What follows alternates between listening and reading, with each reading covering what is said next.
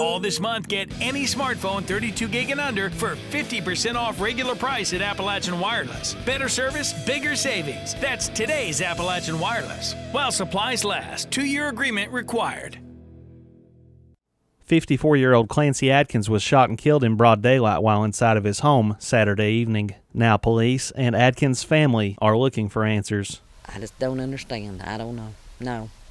Pike County Coroner Russell Roberts said the shot that killed Adkins was fired through the glass of a storm door on Adkins' home on Coon Branch off Right Fork of Island Creek Road near Pikeville. Roberts said foul play was evident. The storm door had been uh, broken and shattered, and uh, then after that, uh, a detective came in and we started doing further investigation.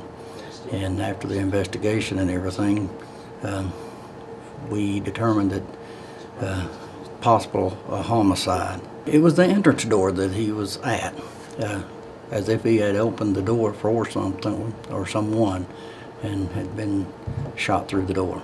Uh, transported uh, the victim down to Frankfort to the medical examiner's office, and after transferring him to the medical examiner's office, we did find out that he had been shot and uh, by a perpetrator. Clancy Adkins had undergone treatment for leukemia over the past couple of years. His family wants to know why his life was taken in such a violent manner. Well, my uncle that lives at the foot of the hill heard two gunshots. He told me they were like 30 seconds apart. He heard the first one and he thought he heard my door open and then he heard another one like 30 seconds later, and he heard somebody holler out, Oh God. And he said he looked up there and didn't see any vehicles in the driveway nowhere. So I don't know.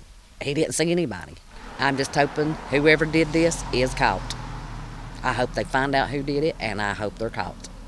No arrests have been made, and the investigation is ongoing. Reporting in Pikeville for EKB News, I'm Chris Anderson.